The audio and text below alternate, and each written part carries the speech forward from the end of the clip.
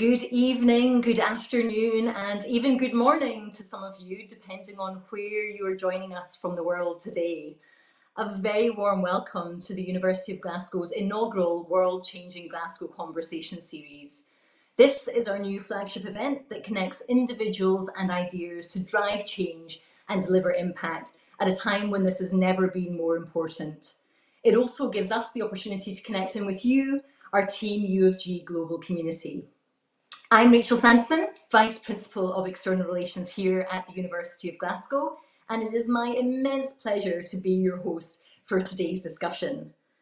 Our first topic in this exciting new series is of course something that impacts on each and every one of us, COVID-19 and the effect the pandemic has had on economies around the world. Giving us your thoughts and provocations, I'm thrilled to introduce leading economist and our own principal and vice chancellor at the University of Glasgow, Professor Sir Anton Muscatelli, and an alumnus who is also one of our incredible donors, an honorary doctor of the University of Glasgow and global managing partner of McKinsey & Co, Kevin Sneader. Together, they will discuss the impact of the pandemic on economies and how governments and business might reset for growth and find their way to the next normal. We'll begin with a short presentation from both and then we'll move straight on to questions and many thanks to all of those who have submitted some questions in advance to us. We'll also try to pick up on some of our thoughts and comments from the live audience this evening via the chat function. So if you do have a burning question for our illustrious speakers, please do pop it into the chat and we'll do our best to pick up on as many of the themes as possible. But without further delay, since I know that time is short, I would like to welcome Anton to take to the virtual stage. Anton, over to you. Well, thank you very much, Rachel. And I'm absolutely delighted to be here for this inaugural World Changing Glasgow conversation. And I'm equally delighted to share a panel with Kevin, one of our most distinguished alumni and, and a great friend and supporter of the university in my 10 minutes, I'm going to focus on the macroeconomic impact of COVID 19 and the implication this has for the future of the global economy and, really choices for policymakers. And to frame this, I think it's helpful to identify three distinct phases to the pandemic. Uh, first, the initial emergency stage, where many nations locked down and economic activity ground to a halt. Second, uh, the intermediate phase, which is we're living through at the moment, living with the virus and characterized by further waves of COVID. And third, the exit period, when we finally move out beyond the pandemic and establish a form of normality, hopefully, in, economic recovery. The first thing to highlight uh, around the initial phase is just the scale of the shock that the global economy experienced. It's been uh, the largest systematic downturn for most economies since modern industrial uh, times. And just to put this in, in context, uh, this is a, a graph of uh, quarter, quarter on quarter uh, GDP uh, growth in the UK since 1955, uh, you, you'll see that actually, you know, most of the ups and downs have been smaller blips. Uh, even the 2008-9 Great Financial Crisis recession, which remember was the worst financial crisis since the Great Depression, during that period, UK GDP shrunk by no more than 2.1% in any given quarter. In quarter two of this year, as you can see from this graph, UK GDP contracted by 19.8%. Now, in the UK alone, the initial fiscal response, uh, and that encompassed measures such as the coronavirus job retention scheme, loans and grants for businesses, additional welfare support, is estimated at about 200 billion pounds. And the picture is very similar across the Western, Western world because across Europe's five largest economies, over 40 million workers have been put on government job support schemes.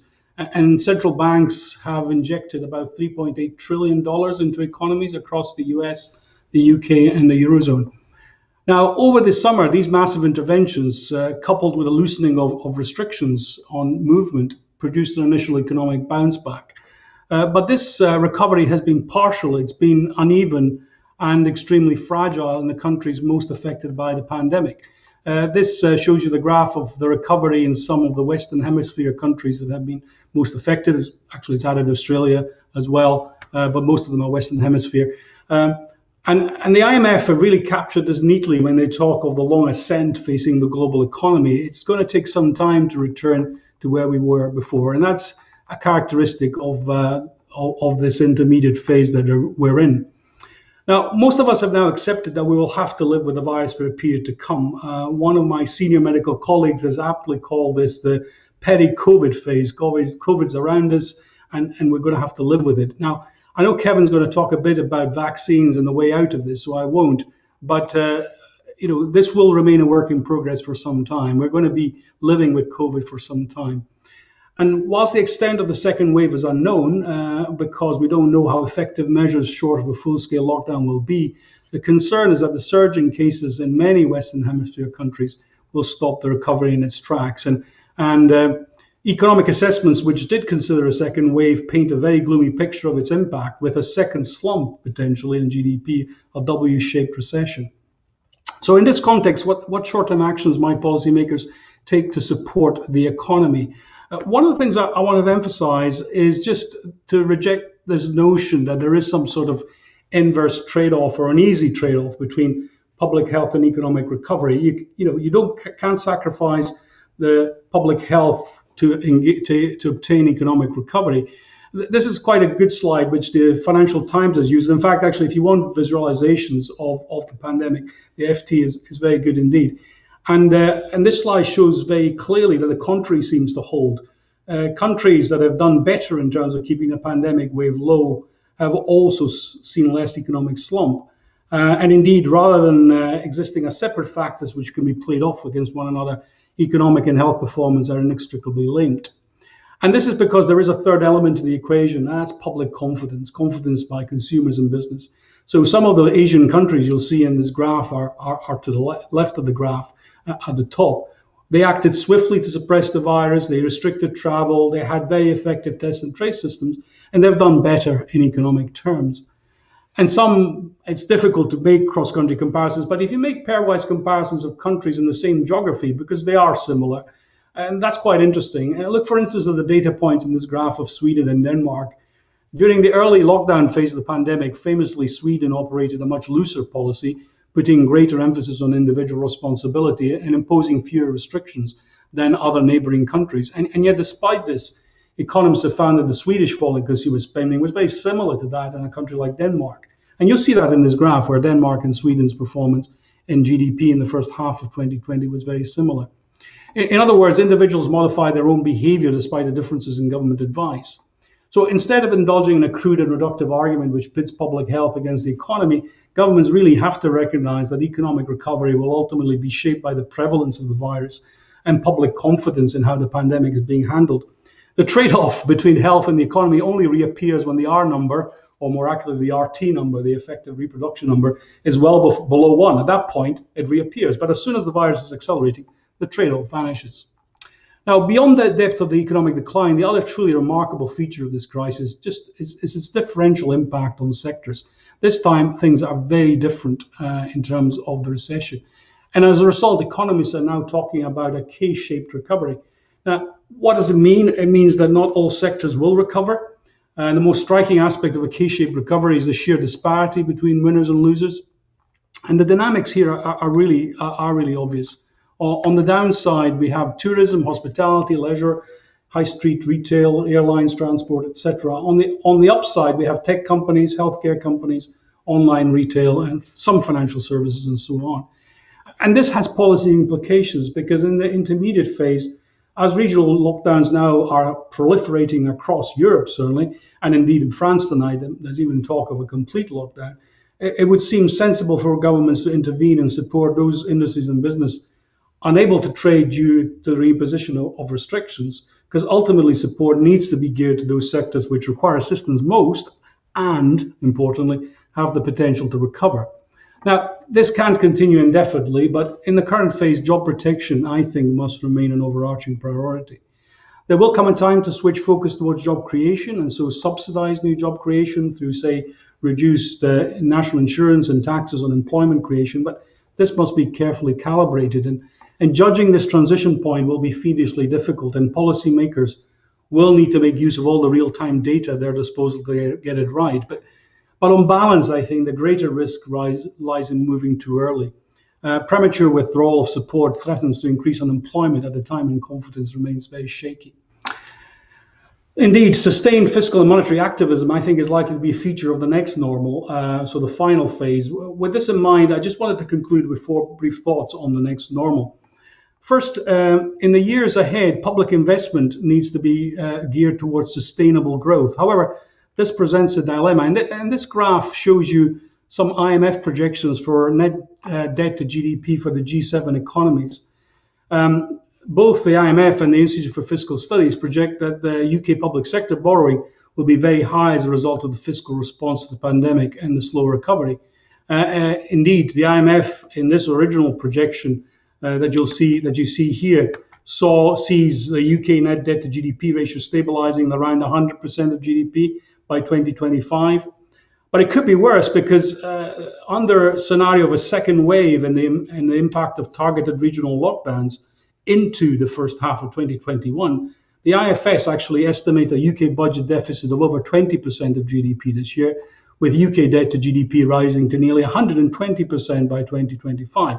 And, and you would see similar higher figures for all the other countries. So now high debt to GDP ratios can be sustainable. Japan has had a high ratio for many decades, but that critically depends on whether the borrowing is domestic, whether savings rates, uh, domestic saving rates are high, and on the difference between economic growth and interest rates. And monetary policy is set to continue to be loose across the West for a period to come. But it's a potential knife edge, uh, high debt to GDP ratios. And extra borrowing really seriously limit a country's room for maneuver should a further crisis emerge. My second point is that there's a need to identify a number of priority areas for public investment, and there are some obvious candidates here. Uh, for instance, greening the economy is absolutely essential. We know that we're facing a climate emergency. We need to address this. But there are other areas too. Public R&D spending is another strong candidate for investment in that it's known to spur innovation and jobs, enhance productivity and growth. Uh, and this brings me to my third point, and that's resilience. I think there's two considerations here. Uh, the first aspect concerns healthcare resilience. Uh, Asian countries learned from the SARS episode, which uh, simply, uh, and they learned lessons which simply weren't absorbed in the West. And while the next crisis won't look like this one, we need to be better, better prepared, I think, for future healthcare emergencies, including developing our testing capacity and disease monitoring in our health in our health supply chains. And the second element concerns supply chain resilience. Uh, the pandemic highlighted vulnerabilities within lengthy global supply chains, and indeed, uh, McKinsey, uh, Kevin's uh, organization, found that 93% of firms are planning to make supply chains more resilient as a result. Now, the danger here is that resilience slips into economic nationalism, that rather than smoothing supply chains, there's a march to unpick them. Now, that would be disastrous because I think protectionism remains one of the greatest threats to the long term recovery of the global economy. And fourth and finally, there's the issue of inequality. We know that this is a highly unequal crisis, that the impact will fall disproportionately on the young, on working women, on minorities, and those with lower skills. And for instance, the IFS again has found that women uh, are around a third more likely to work in a sector heavily affected or shut down by the pandemic uh, in the UK. And like, likewise, the Scottish government, the advisory, the Scottish government's advisory group on uh, economic recovery, of which I was a member, highlighted the impact on young people and the potential for labour market scarring. Now, inequality, I think, concerted uh, requires concerted attention from policymakers, both domestically and supranationally and we need to think urgently about how to uh, to change that dynamic. Now I'm out of time, but I hope this gives you a flavour of some of the challenges and opportunities that policymakers face. I think in some sectors of the economy, the impact of the pandemic has been and will continue to be absolutely revolutionary. In others, we're likely to witness a more marginal effect, an evolution where pre-existing trends are accelerated rather than reinvented altogether. But what is beyond doubt is uh, the number of big questions and hard choices on the horizon uh, ultimately, I think governments have no alternative but to remain flexible and take an activist and ambitious policy approach, both fiscally and in monetary policy, to engineer growth so as to face the long run sound money constraint, because that will be there. Now, we'll get past the pandemic and there will be an economic recovery, but just how quickly this will be achieved and its scope and scale remain far from certain, I think. Thank you very much, Rachel. Thank you so much, Anton, for kicking us off with such a clear and insightful overview. And I think many of the points that you've touched on around those trade offs and particularly the inequalities of the pandemic are definitely things that I'm really keen to come back to when, when we get to Q&A. Um, before handing over to Kevin, I also just want to say hello to the audience that have joined us. Um, I believe we have people with us from Buenos Aires, from Bavaria, and um, perhaps a bit more locally from Airdrie. So, um, so welcome and thank you for joining us this evening. Um, Kevin, can I now hand over to you just to give us your thoughts on what that road to recovery might look like and the impact of pandemics on global economies? No, thank you, Rachel. Thank you, Anton. It's a real pleasure to be back home. Uh, what is this morning, this afternoon here in New York? So it's uh, a pleasure to do so and to share a few thoughts. And I'm going to try and do it with one slide. I, I usually come armed with an array of PowerPoints, but I'm going to hide behind one slide for the duration of this presentation. If we can pop that up, and I'll try and answer the question of where are we, what's happening, and where are we going. Uh, and before I do that, and I'm going to go vertically, so that first column, first and foremost, let's remember that this is a humanitarian crisis. We will drift into talking about the economics, but it is a humanitarian crisis. Uh, 43 million cases, uh, 1.2 million deaths, if you believe the latest numbers from Johns Hopkins. This is at a scale, as Anton rightly says, that is truly and sadly unique in a negative sense. So we should remember that as the backdrop for the conversation. We should also remember, I think, what Anton said. There have been from the start, and we, I will argue, there remain two goals. Two goals. One is to save lives, and the second is to safeguard livelihoods. Save lives and safeguard livelihoods. One without the other is insufficient. I don't believe that it is possible to safeguard livelihoods if the health situation remains one that is troubling, impacting the way in which lives are being led. That is just not a recipe for long term economic success. However, if livelihoods are not protected, then there is a very real second order effect on healthcare, and we're seeing that in many parts of the world. So, the challenge in all of this, and the unenviable challenge for policymakers, is to do two things save lives and safeguard livelihoods. And that is, of course, not straightforward. Who would want to be a policymaker when that is the choice that you have to make? And the need to do both is not easy. So let's try and get into what's going on and, and how are we doing against each of these dual goals. Well, the shape of the recovery and the reality in which we find ourselves is, of course, going to be deeply impacted by whether or not the vaccines arrive. I'll get to that in a moment. But as we look at the situation, I am very struck that the summer was essentially a magical tour of the alphabet. It really was. If you recall at the beginning of the summer, or sort of March, April, so really more in the spring, we were talking about when will the V-shaped recovery occur? In other words, a sharp down and then we'll get back up. When that didn't happen, we shifted to, well, it's really a W. We'll come down, go back up, come down again and go back up. And that didn't happen. Then we moved to explore the letter U because we thought, well, actually what's happening is we're going to be down for a bit longer and then we'll bounce back. That didn't happen. So then economists and others shifted to having fat U's. We're going to stay in this trough for longer, then we'll pop back up. That hasn't happened. Then there was an exploration of, okay, we've given up in the alphabet, let's see what else we can come up with. And there was the Nike swoosh, sharp down and then a long, steady recovery. That may actually still be an option that's out there. But we then saw the check mark briefly make an appearance in the sort of end of summer moment when people thought, you know what, this spread is reduced the economy seems to be doing okay. Maybe it was a check mark after all, sharp down, and then we're popping back up, not quite in a V because the down was a bit more pronounced than we thought. Well, that's all in the past. Now we've moved into what we're calling the K shaped recovery, and Anton already touched on this. The notion that this is a bit like a hurricane that hits an island. It devastates one part and leaves another part that actually is doing okay, may even be thriving. And we're seeing that in economies. We're seeing a very differentiated impact on different parts of the economic makeup of a country. We're seeing the way in which leisure, entertainment, travel, I could go down the sectors, Anton's already done so, so I won't repeat that. On the one hand, and we're seeing technology and other sectors enjoying quite the opposite, where their demand for what they do has never been greater. I think about your local supermarket. That's a business which usually has growth in line with demography, i.e., it barely grows. Now, what we're seeing is very significant growth rates because people have stopped going to restaurants, turned to home cooking, and massive demand for food. Net result of all of this K shaped recovery, maybe. The problem we've got is each part of the K counters the other, and we're still way off where we were. This has been a moment in time when, as Anton showed, we've had the devastation in terms of economic impact equivalent to the Great Depression of the 1930s.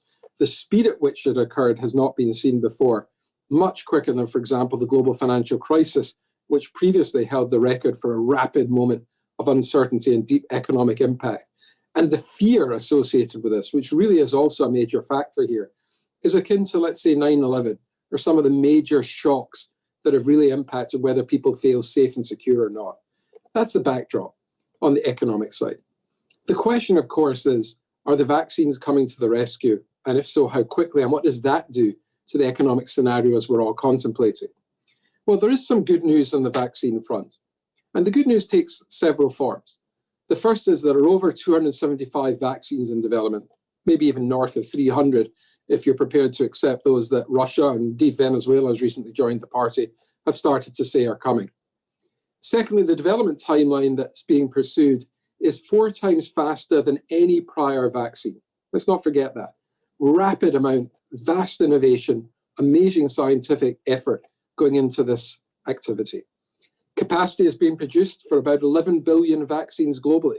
That's a remarkable number and over 17 billion US dollars has been invested in vaccine development. And the reason for all that money and investment going in is, of course, obvious. There's an increasing view that the vaccine is what will save us. But it's also because actually there are three things that need to happen if that is going to be true. The first is science needs to get there. It is probable now, probable, not definite, but probable there will be some kind of vaccine approved for emergency use in the United States by the FDA, and if you use that as the gold standard, that may well happen by the end of the year. May well happen, but it's not all public information. However, that's only one part. It's a huge part, but it's only one part of the challenge. The second part is to distribute that vaccine. And the vaccines have different characteristics. The one that's likely to come to market, the ones that are likely to come to market fastest, also have to be stored and transported at very low temperatures. That means we need a supply chain and a chilled chain, or actually a frozen chain, that can distribute at those temperatures. Also, the earliest ones may need two doses. There is one from J&J that may only need one dose and can be transported at near normal temperatures, but that's the outlier. We'll see where that gets to. I'm not making predictions on the speed at which any one of those will occur, but I would observe that distribution is going to be an issue. The third issue that one would hope will not be the determinant of success or not is, of course, efficacy. And efficacy at this point, it's worth remembering that the flu vaccines are somewhere in the 50, 60, 70% range, depending on the mutation of the virus at any point in time. It's likely we're going to see similar numbers for this vaccine. So, what does all that mean? It means the point of the virus is, in effect, to induce the famous herd immunity, to get it out there with sufficient efficacy that it actually lowers the risk of spread because enough people have been inoculated. There is one issue that is now becoming a material one. Will people take the vaccine? Now, the numbers for the UK are relatively positive in that regard. But if you go to France or you go to the United States, we're now in the sort of 50% of people say they will even take the vaccine. So there's a bit of maths that comes into action here. What's the efficacy rate times the rate at which people can access it, times the, the ability of people to actually want to take it. And if you do that math, you start to get to numbers that fall below 50%. That matters because you start to drift into territory that says, hmm, this is not a given. So we need the vaccine, but let's remember this. It's probably coming, but there's still real work to do to distribute it and to ensure that it's taken at the levels which will induce the effect we're looking to see. So lots of uncertainty remains. Lots of uncertainty remains. And uncertainty is the enemy in one part of this story as to what we were able to do and how quickly we'll be able to do it. Now, I could get into the economic forecasting game, but I was once told that economic forecasting exists to make astrologers look good. And I think there is some truth to that. In other words, somebody also once told me they predicted five of the last two recessions. Now, I need to be really careful because I don't want to upset Anton in the economic profession. I think there is value to it. But we came up with nine different scenarios because picking any one scenario is really difficult to be confident. And the scenarios that most likely in our minds exist suggest that we're looking to about quarter two of 2022 before we get back to where we were in 2019 from an economic viewpoint. Now, that's quite some time to wait. Of course, we all hope and believe the health situation may improve before then. But here's the point one without the other will not succeed. It's the point that Anton made. And that's why the health situation remains critical to understanding the economic situation. So if we get our crystal balls out, we say, well, what will the future look like? Let me be very brief in saying I think there's a great American philosopher also happened to play baseball, which I think of as rounders, but the Americans insist on calling baseball. So he played rounders. His name was Yogi Berra, and he had a great saying the future ain't what it used to be. But if I was given the chance to say, what are the forces that I think we're likely to see? First and foremost, an acceleration of digitization and innovation. This is probably going to be a period of unprecedented innovation. It already is from a healthcare angle. Secondly, increased role of government. Government is going to be playing more of a role. Why? Because of the situation that Anton already described. Government is already the lender, the borrower, and also the insurer of last resort, and ultimately the owner of many private sector enterprises. Three, we are going to see a recommitment and a reinvention of healthcare. Telemedicine and telehealth has been talked about for decades. Now it's actually happening. Four, a greater balance between social and economic goals. This is a humanitarian crisis. It is also one that threatens to promote inequality at a scale that is truly troubling, and it's already troubling. I could spend a lot of time on this. Anton already touched on it. Five, the need for a green recovery. I don't think we can afford a brown recovery. If we've learned one thing from this pandemic, is that when you can see an event coming, it's best to prepare for it. We can see coming the environmental challenge. This is an opportunity, given the scale of stimulus and investment in infrastructure, to actually ensure that we have investment against the green recovery. It's time to take that and likely to be followed by governments, I think, at this rate. Six, we're going to see a redefinition of work and the role of cities. Many cities have already seen a depopulation occurring. That's particularly true in the US and parts of the European economies have been less impacted. But nevertheless, the way work gets done is certainly changing. Remote working, we could spend ages on that topic. Seven, we are seeing shifting geopolitics. That's been accelerated, not created by the virus. But you don't need to look far in the newspaper to see the headlines and understand the tensions that exist. Eight, well, I think we're going to see a move to a more resilient and efficient economy. I don't think it's one or the other. A lot of economies have been built on being just in time. Now they're going to be built on being just in case. Anton touched on that, so I won't spend long on it. Let me close with one thought. 1968. I don't know how many of you were around in 1968. I was two years old, so I don't remember it very well. But I went to my daughter's last day of school when the principal stood up to give her speech and she said, I am a child of 1968. She was pretty old, but in great shape. And she said, The reason I mention this is you are in the equivalent year. 1968 was not a great year for the world. It was a horrendous year for the world. Think about what happened in 1968. Martin Luther King was assassinated. Robert F. Kennedy was murdered. We had lots of troubles around the world. Vietnam was in full flow. And there were riots in Paris.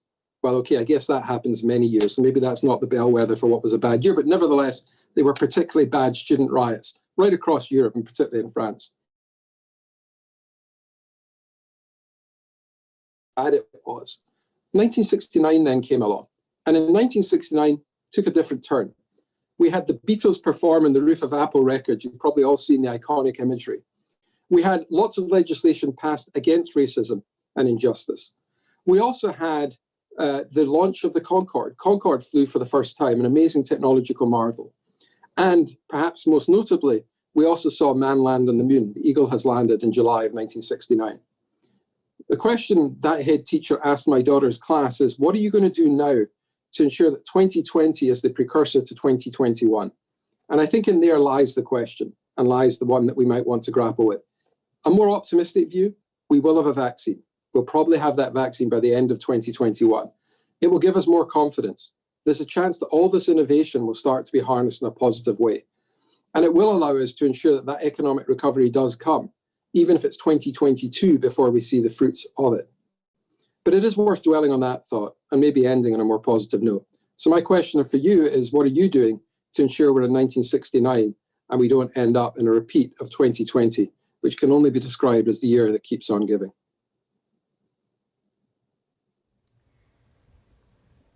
Thanks so much, Kevin, for that fantastic overview. And um, I like I like the positive ending and the optimism that you know this 2020 could be the precursor to, to greater things in 2021 and 2022.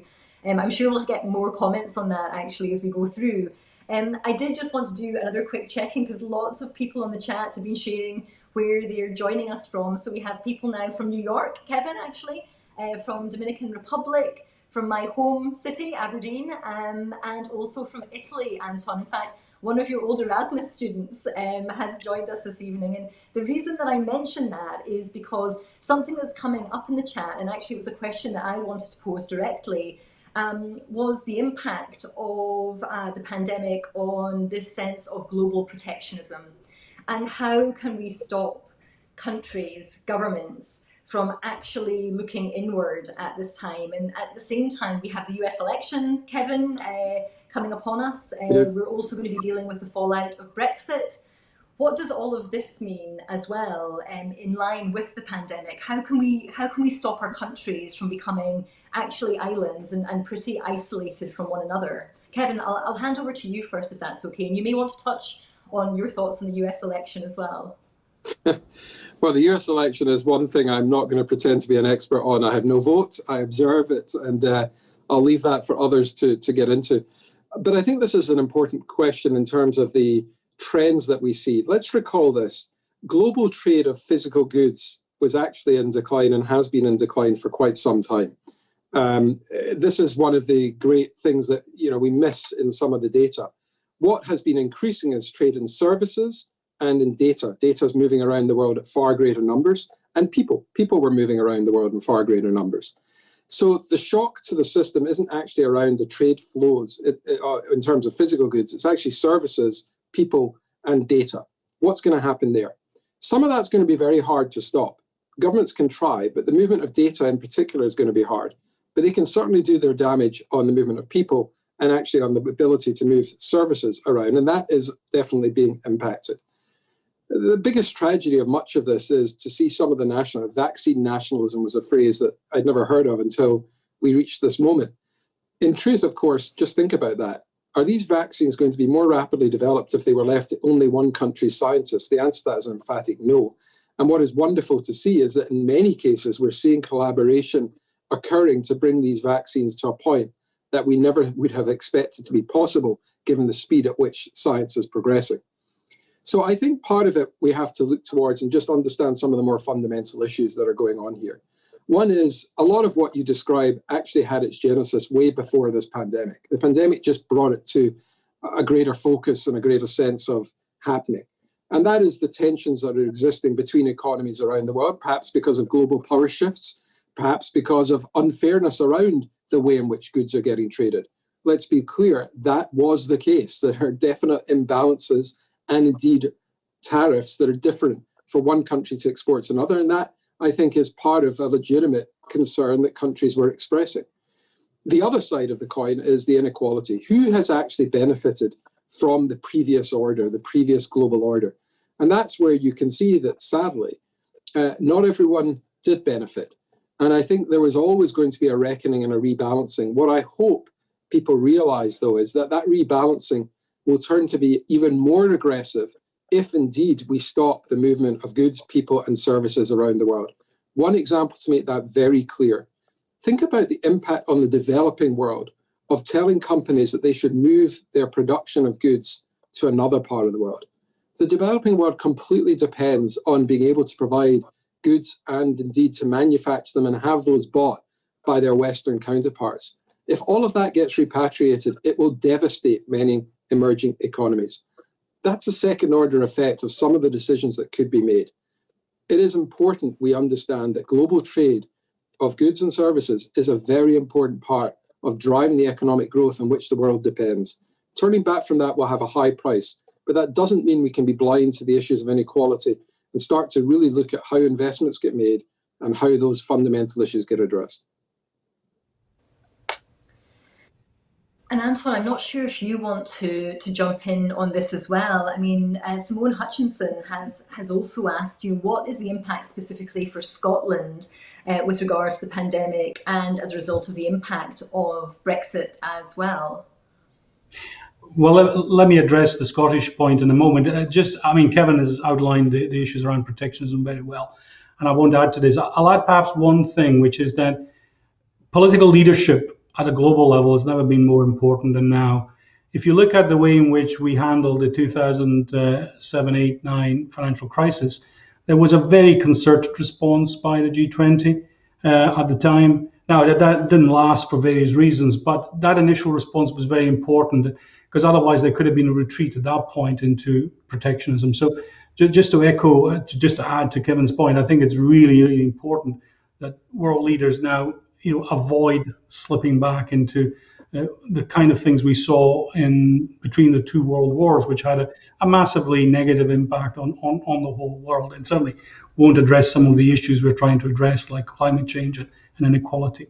Turning to Scotland, I, I mean, I think I, I, would say two things. One of the things that we tried to emphasize in our advisory group on economic recovery was that some of the issues that Scot- the Scottish economy faced even before the pandemic need to be addressed as part of this transition to the new normal.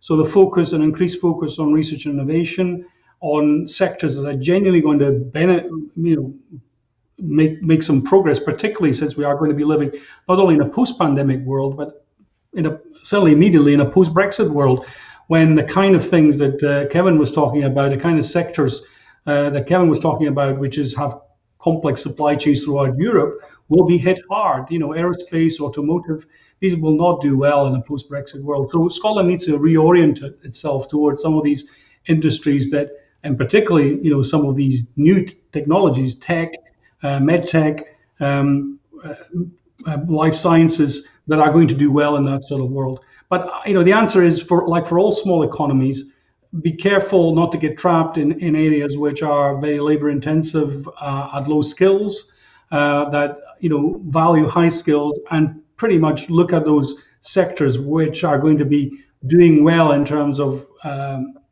you know sort of new new technologies and innovation, but but particularly ones that don't uh, rely the protection uh, of, on the protection of trade barriers because we are going to be in a rather different situation from next year. Thanks, Anton. Um, and just kind of following on from, from what both of you have already said, um, we do have a question from uh, Alan Bertie, one of our alums and donors, and and he's asked, you know, given that the pace of recovery uh, will be very different across different industries, as you've already pointed to, what can businesses or policymakers do to make the adjustment less painful and prevent a long-lasting unemployment crisis? Um, again, Anton, do you want to maybe start with this one, and then I'll hand over to Kevin? I, I, think the lessons, uh, Rachel, uh, and thanks to Alan for this question. I, I, think the lessons from all the other adjustments that we've seen when there's been major structural change in the economy is that you need to invest in training and skills. Um, what made the 1980s uh, recession in many countries, especially the UK, very painful was this lack of uh, investment at the time in in the transition. Um, and certainly helping uh, those young people who are going through transitions, whether it's from school to work or whether it's from school to college or from college university into work. Uh, managing that transition by supporting them is going to be absolutely key over the next uh, next while. That's what I would say. Uh, looking at how job creation can be targeted on particular sectors again, which are the ones that are going to succeed, as opposed to simply a scattergun approach. Uh, that's a that's a short answer to what is a complicated question, however. It is a complicated question. Uh, Kevin, do you want to add anything to that? No, I think Alan's question is a complicated one, and, and it's. I think there's a few things to remember about this uh, situation versus prior recessions. This one was induced by a health crisis, not a banking system failure, which was the arguable cause of the global financial crisis in 2008, 2009, 2010. And therefore, in some cases, what you have is a suppression of demand that has rapidly occurred, even though people may actually have the financial wherewithal to choose to spend, they don't. Confidence around going to a restaurant isn't necessarily increased by having money, it's increased by feeling safe. And one of the challenges, therefore, I think the roles that governments have to play is to understand to what extent are we bridging to the future, recognizing that that future is quite some time away, in which case funding and support in the interim period becomes crucial, versus we're delaying an inevitable restructuring that will occur because the role of businesses have changed, in which case we better get after doing things differently and not preserve old ways of doing things. And the issue we've got is this this situation has a bit of all of that going on.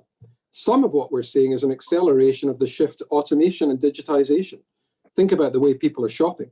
And that's not going to be reversed, or at least it's not going to be fully reversed. So to prop up the parts of the business empire that don't recognize that would be at least a questionable use of public resources because there's no going back. People have decided this is what they're going to do and this is how it's going to work. And we can push prod and all the rest of it, but there has go- there is going to be a more digitized economy.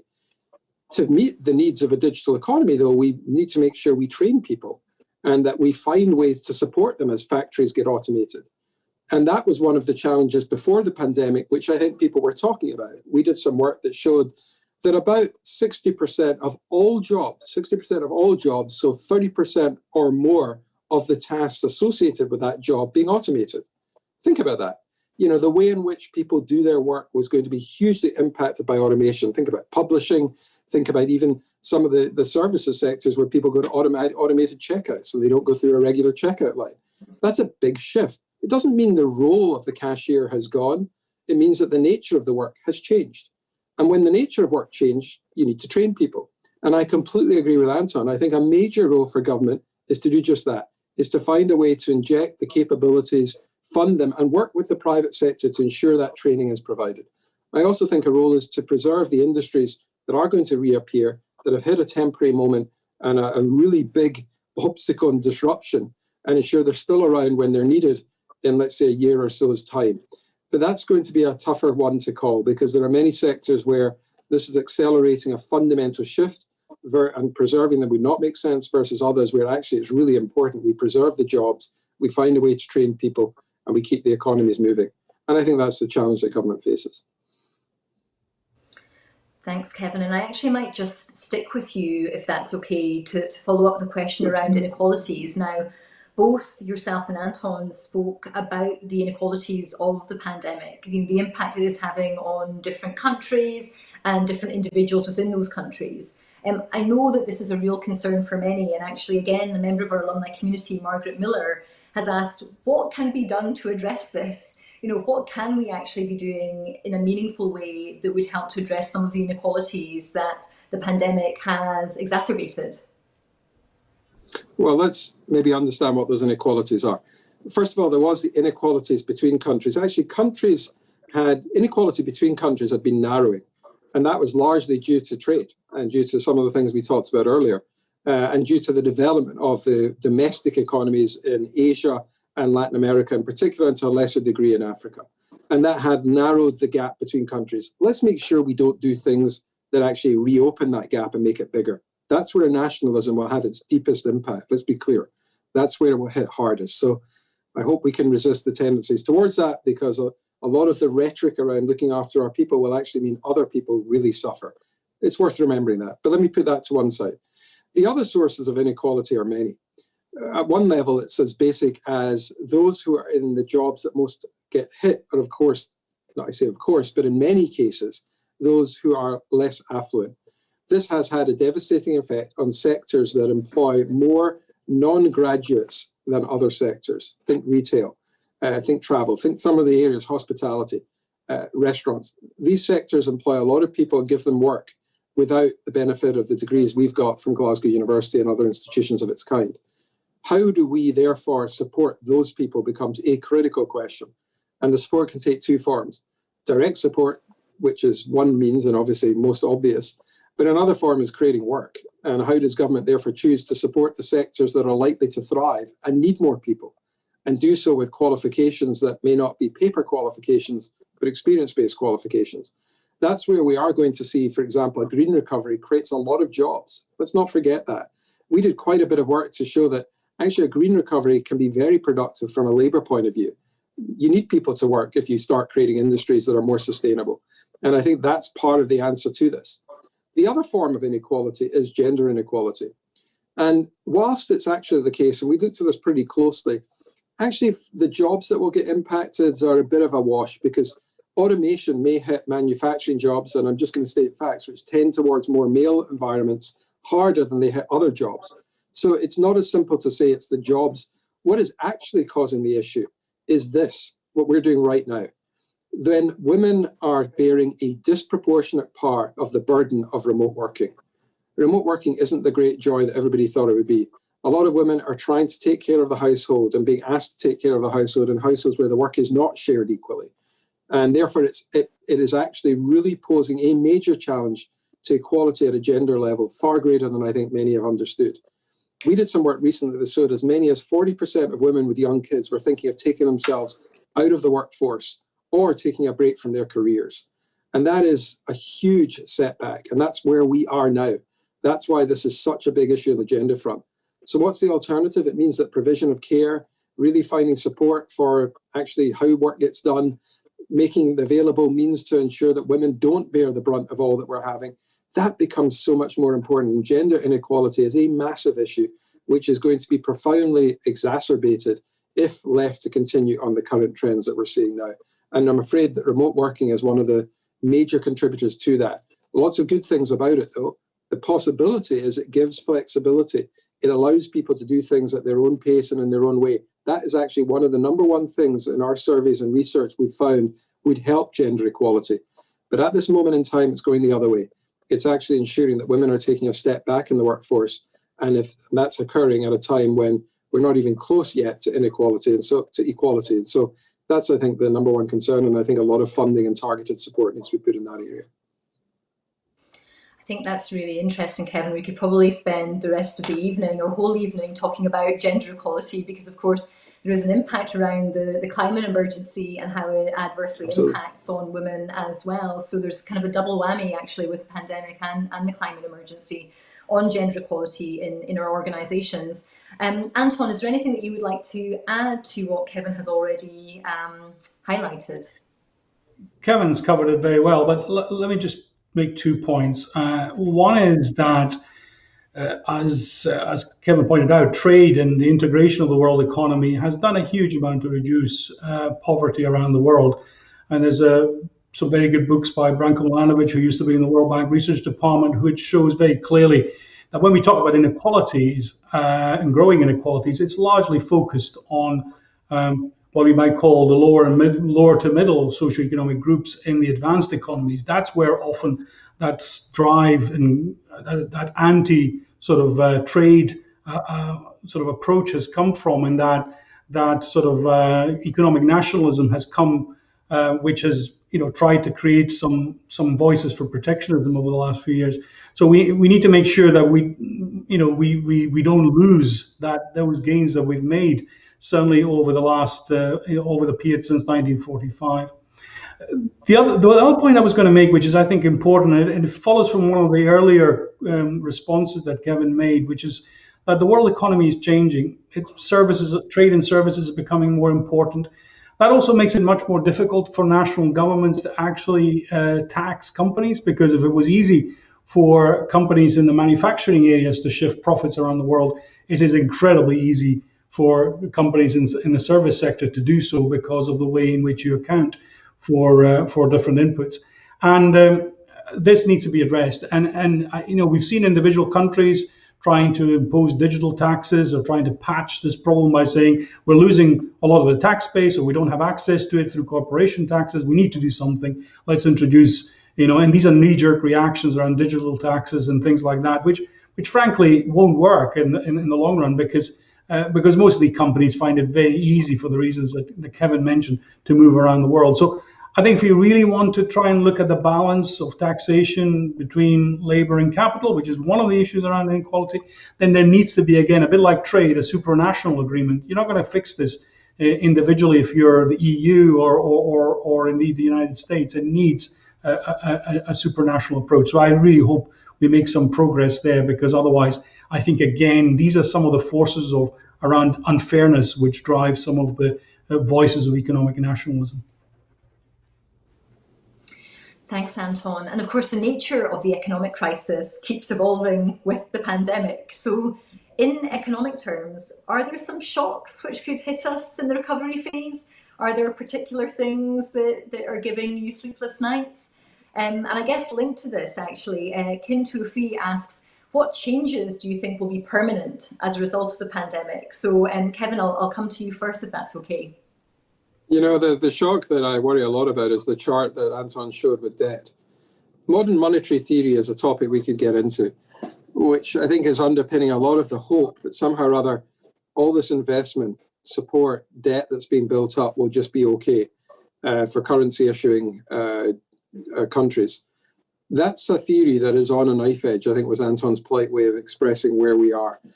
Uh, you know, all this is happening at a time of low interest rates. And so therefore we're running up all this debt, low interest rates, it can be serviced and so on. What if that theory is wrong? What if actually we find that that's not going to happen and we're going to have to find a way to pay back that debt or avoid our kids being burdened by it? That really could be a devastating blow at a time when we need to invest in our health systems. We need to invest in the support we've been discussing. We need to invest in actions to stem the tide of inequality there's a real challenge to the global economic order if some of the theory that's being touted and in which I think a lot of hope is being placed. Now, clearly, we're in the middle of a battle and we need to throw everything at it, as Christine Lagarde said only a few weeks ago, and she's right. But there is just, if you ask me what worries me, I worry about that shock. You know, where's that shock? What's that going to do to us? The second shock, of course, one worries about is the health shock. You know, the second wave, the third wave. What if the vaccines are delayed? What happens if we actually find that this thing mutates in a way that's unfavorable. There's so many uncertainties there. In a way, I'm trying to keep my mind more positively organized and not focus on those. But let's recall that this is a period of uncertainty, and uncertainty is one of the things that is most associated with times of economic distress. And it's that reason, if you want to go down, I think, the path of theory, which is creating the reality of the economic order will not be settled by anything other than resolving this health crisis. And, and it's I think, dangerous to assume otherwise because that uncertainty index is just going to keep moving. Uh, Germany announces the closure of restaurants and bars. France will do something similar, it seems, uh, and if it's not already done so, we'll do in an hour or so when Macron speaks. So if we put all that together, you see these levels of uncertainty. If they reach levels which are at the same level they were in March, then the shock again that we're going to see, which will then impact the markets and others, I think will really be quite profound. And the biggest shock of, call, of all, of course, would be if uh, confidence on behalf of the people erodes and the institutions that are so important to allowing uh, the governments of the countries which they control and oversee to operate. If that breaks down, then we've got all sorts of problems. I'm hoping we're far away from that. I, I really believe that that would be a bigger shock than any of the others, and I'm hoping we don't get there. But we have a big election taking place in the United States next week, and let's hope that that goes off in an orderly fashion, in an appropriate way. I think it will. But you know, we, we it's not even worth contemplating what happens if some of those shocks occur in major economies. That's not very cheap. Yeah, I no, agree. you were doing so well as well with your introduction. I know I was, but it's a good uh, day out there in New York, so it feels sort of an appropriately grey and somber occasion to offer that view. Uh, and then we can get happier, I'm sure. 1969 it's, it's, it's interesting what you were saying though about public confidence because actually some of the comments in the chat have been around well even if there is a vaccine will people take it you know will there be confidence in taking the vaccine and will that will that create some some challenges for us further down the line but anyway anton i'll, I'll hand over to you is there anything else that you would like to add how are you sleeping um, well, uh, I'm well, but then I generally sleep very well. Uh, so I'm not too worried about about my sleeping patterns. But two, two quick points um, because uh, like Kevin, I'm, I'm a big skeptic around modern monetary theory, I'm afraid. And I, I, do believe that at the end of the day, we need to manage this. Now, we have managed it before. Uh, after the Second World War, we had a period in which, uh, because of financial repression, interest rates were kept low, growth took off, and during the 15, 20 years after 1945, many of the countries, like the UK, for instance, that built up a lot of debt, were able to pay that off. Now, uh, that's fine, but there's no guarantee that we're going to go into a financial repression period, and therefore, it's you know you could easily see a situation in which uh, um, you know interest rates, real interest rates, rise relative to growth, or if growth doesn't recover quickly, trend rate of growth doesn't recover quickly, and then you you have a crisis of confidence in public finances. So I totally agree with that.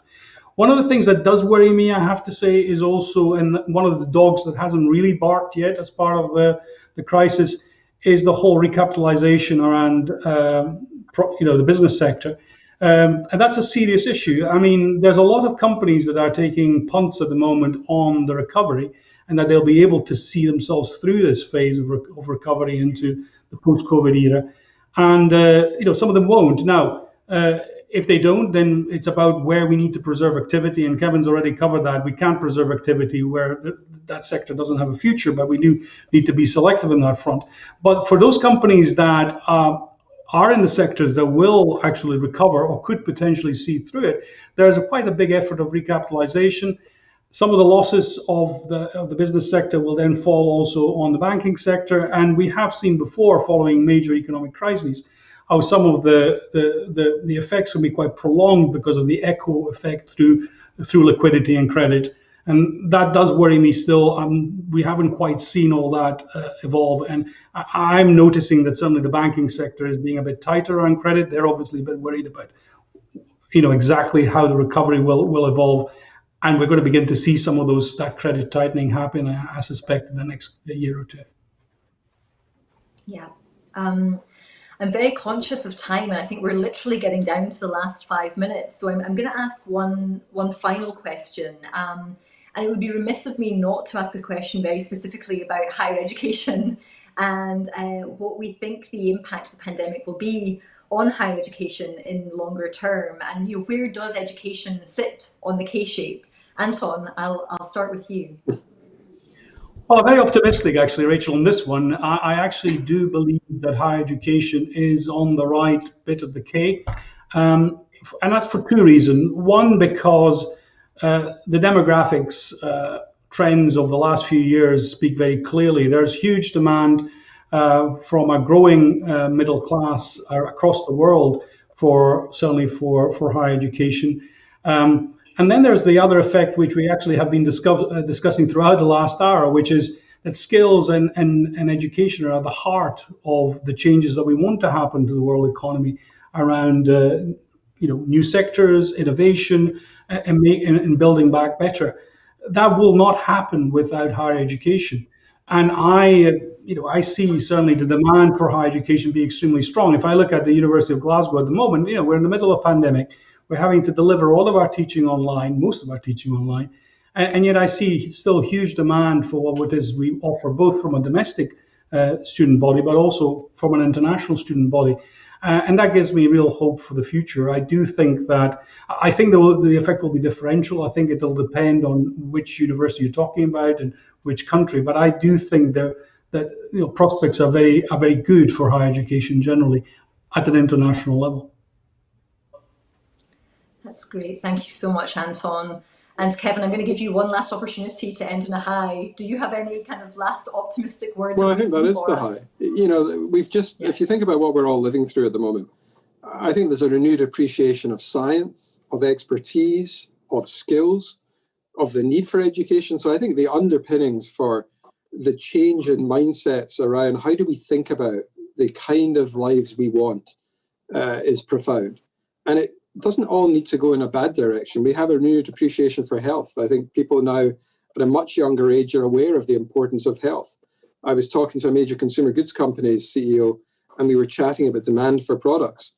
And I know this sounds odd and impossible to believe of anyone in Glasgow, but actually soap and deodorants and some of the things you would have thought would go south have actually gone up. But more importantly, attitudes towards vitamins and all sorts of entry level products into healthcare have shifted younger. People are now much more aware of health and the vulnerability of health.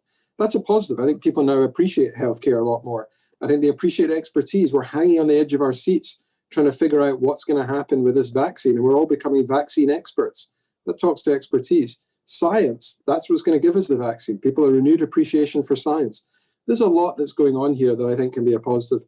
And I hope as we contemplate this moment, and it is a dark moment with all the challenges it's got, we remember this. There will be astonishing innovation. And I know he wasn't at Glasgow University, but I can't help reminding everyone that Isaac Newton was one of the beneficiaries of the first experiment in remote working. When Cambridge University shut down, I guess it was in the 17th century or so, and they sent their students home, Newton went home and watched an apple fall and the theory of gravity and all the things that he then started to, to contemplate. Well, that was done through remote working because it was a period of innovation. We started to think great thoughts. And let's hope that that happens too. So I don't think it's all doom and gloom. Out of this adversity will undoubtedly come a period of remarkable innovation and new ways of working. And what we did today, where people are beaming in from a far afield, is New York and Buenos Aires, or for that matter, Airdrie. uh, we should celebrate because that is a step change. It's great to know people from Airdrie have joined. Hello.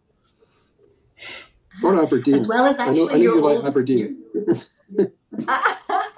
well, I was just going to say, Kevin, actually, your old debating partner, Jack Silverstone, has also joined and wanted to say hello, so I'm, I'm passing that on.